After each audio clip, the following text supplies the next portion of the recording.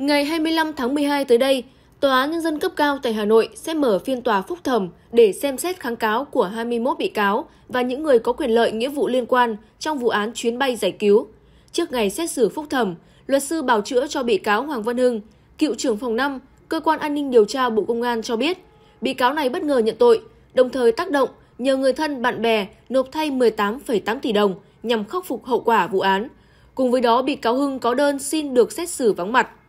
Trước đó, trong suốt quá trình xét xử sơ thẩm, bị cáo Hoàng Văn Hưng một mực phủ nhận cáo trạng truy tố, cho rằng bản thân không nhận khoản tiền đặc biệt lớn từ một bị cáo liên quan. Từ đầu đến cuối phiên tòa, bị cáo này liên tục kêu an, nói mình không phạm tội lừa đảo chiếm đoạt tài sản.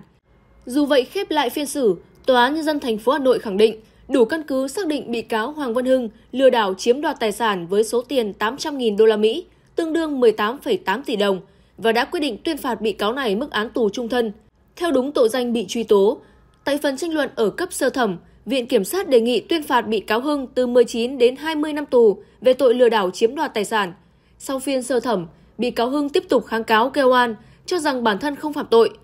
Tuy nhiên đến nay, bị cáo Hưng đã thay đổi quan điểm trước những cáo buộc, quy kết của cấp sơ thẩm. Tại phiên tòa phúc thẩm, bị cáo Hoàng Văn Hưng có 3 luật sư bảo chữa. Tính đến thời điểm hiện tại, có 30 luật sư đăng ký tham gia bảo chữa cho các bị cáo và những người có quyền lợi, nghĩa vụ liên quan trong vụ án.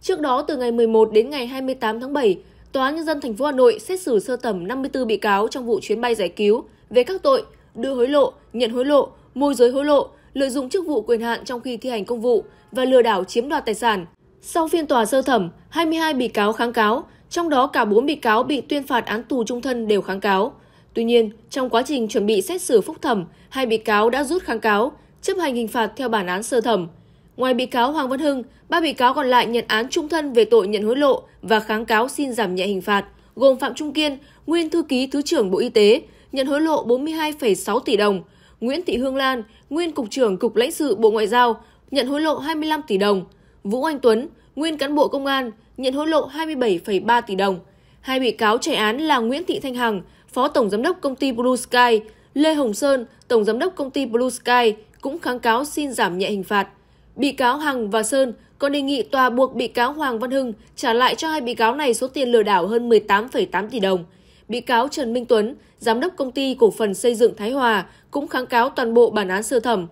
Bị cáo Trần Minh Tuấn đề nghị tòa án cấp phúc thẩm tuyên bị cáo này không phạm tội lừa đảo chiếm đoạt tài sản và không phạm tội đưa hối lộ. Bản án sơ thẩm tuyên phạt Trần Minh Tuấn tổng mức án tù 18 năm về hai tội danh. Liên quan, nhiều bị cáo khác xin giảm nhẹ hình phạt như bị cáo Phạm Bích Hằng, Phạm Thị Kim Ngân, Hoàng Diệu Mơ, Trần Quốc Tuấn, Nguyễn Thị Thanh Hằng. Một số bị cáo xin được hưởng án treo như Lê Văn Nghĩa, Đặng Minh Phương, Trần Thị Mai Sa, Nguyễn Hoàng Linh. Bị cáo Võ Thị Hồng kháng cáo xin miễn truy cứu trách nhiệm hình sự. Ngoài ra, ông Nguyễn Hoàng Quân, chồng của bị cáo Hoàng Diệu Mơ, giám đốc doanh nghiệp về lữ hành, đề nghị được trả lại hai chiếc điện thoại đã bị tịch thu. Trong trường hợp không được trả lại, xin phép được mua lại để bảo vệ quyền lợi thông tin cá nhân. Bà Trần Phi Nga, vợ bị cáo Tô Anh Dũng, cựu Thứ trưởng Bộ Ngoại giao, kháng cáo một phần nội dung bản án, xin giải tỏa kê biên và cấm dịch chuyển nhà dự án Tây Hồ Tây và xin giải tỏa kê biên, cấm dịch chuyển và trả lại sổ đỏ nhà Bắc An Khánh.